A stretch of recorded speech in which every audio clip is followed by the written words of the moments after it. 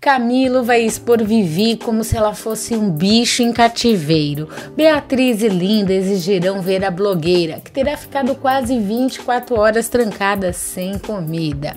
O investigador mostrará a mulher esfomeada e jogará um lanche no chão para ela comer.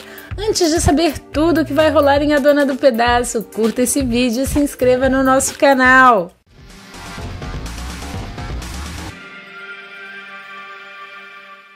Máscara do personagem de Lee Taylor vai cair e ele surtará de vez. Camilo planejará raptar a influenciadora digital e trancá-la em uma casa na floresta. Vivi será presa no quarto sem comida por ir à confeitaria de Maria da Paz sem a permissão do marido. Ela estará jantando e terá seu prato atirado longe. Chega, chega, será que nem comer eu posso em paz? gritará a mocinha. A personagem de Paola Oliveira correrá para o quarto aos prantos. Camilo dirá que tudo vai melhorar quando eles se mudarem para a floresta. Ela afirmará que nunca irá com ele. O que está enganada, a data se aproxima, vai ficar aqui sem comer, até dizer que sim, dirá o carcereiro.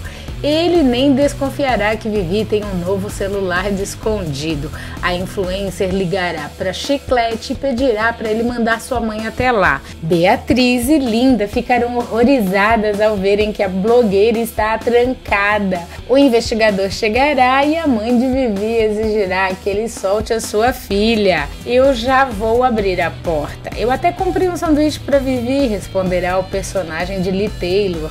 A mocinha dirá que não aguenta mais passar fome.